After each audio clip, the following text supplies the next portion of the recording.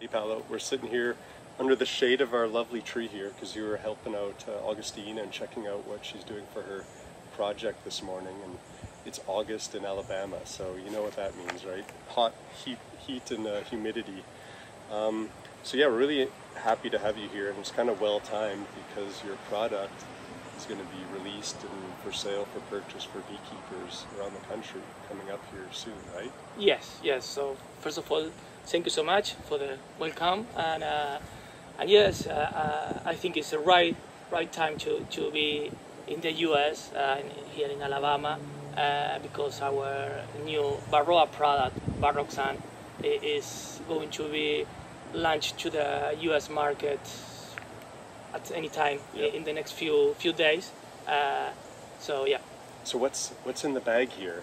So here in the back is uh, what this is for the, the study that we are running here in, in Alabama with uh, with you. Uh, but this is a, a, a pack with uh, full of 60 uh, strip. Each uh, strip has an 18% of oxalic acid.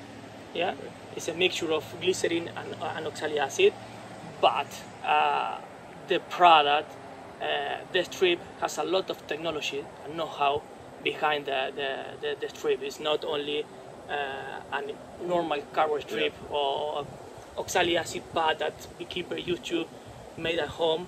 Uh, we have a lot of technology and a, and a lot of quality behind this this product. Okay. So how does um, I mean it's super new now for beekeepers here.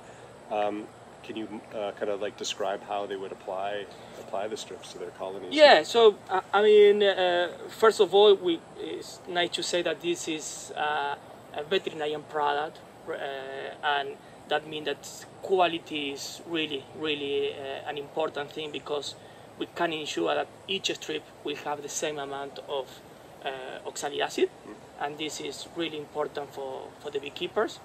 And uh, behind the strip there are other technology like the, the type of cardboard that we are using that uh, allow the strip to remain inside the colony up to eight weeks. Okay. So you can cover three cycle of the, the, the, the bees uh, and you are treating and taking care of the bees for at least 56 days. Okay, and that's going to be that's on the label. That'll be recommended for application. for Okay, application. gotcha. So uh, for a colony, the, the recommended dose is one strip every two frames and a half of bees. Okay. So a, a colony of 10 frame will have four strip. Four strips. Yeah. Is there a, is there going to be a maximum number that can be applied in a colony? Let's say like the average. A lot of commercial beekeepers here, any beekeeper would have kind of a double deep. So Yeah. does that mean like four probably is the Uh, I, I mean, uh, we are working on on that uh, right now. Is one strip every two and a half frame of bees, but uh, probably if, if you have uh, double uh, deep uh, brood boxes and uh, only on the top you have three or four frame with brood, Yeah. with only two strip on the top will be will be okay. So Okay. will be four plus two. Okay. Uh, so maximum Gotcha. of, of six. Six in that case. Yeah, yeah, Okay. yeah. We, we Okay. have studies showing that uh, it's really safe for, for, for bees, so Okay. it's not a problem. Okay. And basically, you need to take a strip from the pack, uh, fold it, and place it between the, Okay. the frames. Over yeah? the top bar there, yeah. In that in that position, Yeah. uh, and try to to uh, put as much uh, vertical as you can to avoid touching the, the other part of the frame. Otherwise, the bees are going to remove the the brood that is near the, Okay. the strip. Okay. But yeah, if you can hold the, the strip as much. And you want bees to be able to walk on either side of this strip. Yeah, so that is really important that the bees walk around the strip because Yeah. it's the, the way that they will take a small part of the active ingredient and distribute around the, the colony. So it's important that the strip are placed where the the the, the bees are, the, um, uh, the cluster of the, Yeah. the bees.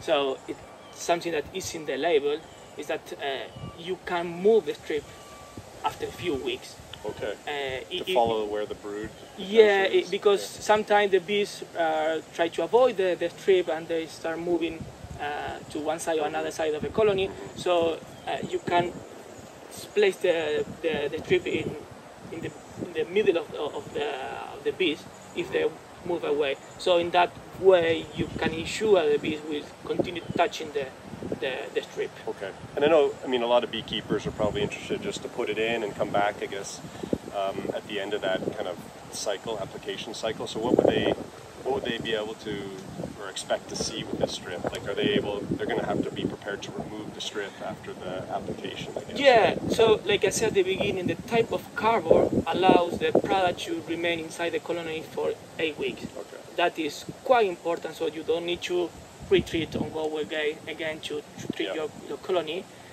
But it is really, really important to remove whatever is left. Okay. Because bees are going to remove part of the strip, Yeah. but whatever is left after a week, you must to remove Must it. remove after Yeah. okay. Otherwise, you are helping varroa to develop resistance. Okay. Uh, yeah. Okay. So yeah, you need to remove it. What um, um, I guess like what makes your product novel? I mean, there's there are several products out there, different active ingredients. So, I mean, what what would be one one reason why you think a beekeeper here in the U.S. would, would want to use this? Well, product? I mean, in, in the US, uh, we know that in the last couple of years there were a lot of problems with other uh, products, I mean, with active ingredient like tafluvalinate or, or amitriptyline are resistant to, to those chemicals. Uh, VarroxSan is based on oxalic acid.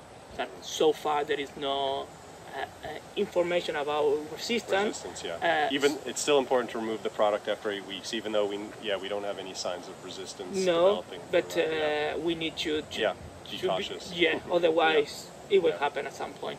So uh, one of the main points is that it's an organic product. It's based on oxalic acid. The, other, the, the next point is that the type of cardboard, like I, I said a couple of times, allow you to keep the treatment for uh, 56 days of, of free cycle of the bees. Uh, it's allowed and in, in the US to use uh, when you have your super on. So during Okay. the, the honey uh, season, if you need to treat, we Yeah. do not recommend it to you to do it. Yeah. But if you need to treat it because there is a, lot of Emergency, yeah, yeah. emergency, you can use it and you can uh, harvest the, the honey and Yeah. So it's, it's allowed to use it during the, the, the, the honey flow. Um, yeah, so there are a few of the advantages for the for Yeah. the U.S. beekeeper. Uh, it's a product ready to use. It's a product. Each strip has the same amount of active ingredient. It's a product that is very easy to, to fold it and, and place it and, and remain very stable inside the, Yeah. the, the colony. So yeah, it's a, it's a new novel uh, product that's going to the U.S. market. Okay. And can a beekeeper? Where can they find that? Any any any state is it going to be available in? Okay, it, it will be registered in all the state in a few weeks. Okay. We we, uh, we started to register in all the state Yeah. uh, like two months ago Okay. because it's registered with the EPA, Yeah. uh, federal registration. EPA, Yeah. Uh, and we just submitted the registration in California, which always is Okay. after the, the EPA is registered, you need to start the process in California. So in California will be in one or two years, but in all the other states will be in, a few weeks will be all the states registered. So far, I have uh, at least 40 states already registered, great. and Alabama is, is is one of, of them. In fact, uh, product should be in Alabama uh, to be Pretty soon. yeah this week or next week. Okay. All right. Well, thanks, uh, Paulo from Vita Europe. Really appreciate that you popped in to, to check on our, our trial that Augustina is running. And um, yeah, No, s- thank you, you and, and Agostina for, for being interested on testing VarroxSan uh, because your result will help the, the local beekeepers. So thank you so much for your time and for your help. Okay, so we're in the B lab now, appreciating our air conditioning. Um, we saw, Augustina, you were collecting some samples out in the field for part of that VarroxSan trial. So, uh, yeah, what's going on? What's going on here? What's the next steps with the Varroa? Okay, after assessing all the colonies uh, in the field, we bring these cups with the bee samples for washing and see how many mites they have in it. So we bring 75 of these cups, and after uh, filtering the mites and the bees, here we have the cups with the bees, and we are counting all samples. So we have the number of mites, the number of bees, and we are calculating the percentage of infestation of each colony after 20 days, Okay. 21 of treatments now. okay. And is this is this following that triple rinse method that the Bee Informed partnership was was using? Yeah, that's true. So we use uh, these sievers and we do the triple rinse, and after that we separate the mites from the bees. Yeah, yeah. And we've we've been working on kind of standardized approach, but I think that's still in kind of development with like a, a shaker table. Um, so yeah, we're using alcohol right now, and I know there's a lot of interest in in um, using soapy water too Mhm. that have been pretty successful too. Yeah. Yeah. We shake this for one minute, so it reduces the time that you are spending in each sample. Yeah. And also the triple rinse, it takes like two minutes per colony after that. So Yeah. maybe counting the bees is the more time consuming task, but you can save all the bees at the end and then use this counter. Mhm. So you it's faster and you count all the samples. Okay. So everyone watching is probably really wondering when they're going to see some results. So what do we what do we think? We know it all takes a bit of time to go through and run the trials. Yeah, we are in the middle of our, our evaluation. The product has been in the colonies for 21 days now, and we are hoping that in the next 25 days we have another round of sampling Yeah. that will fit with the six, 55 days that we are using the product.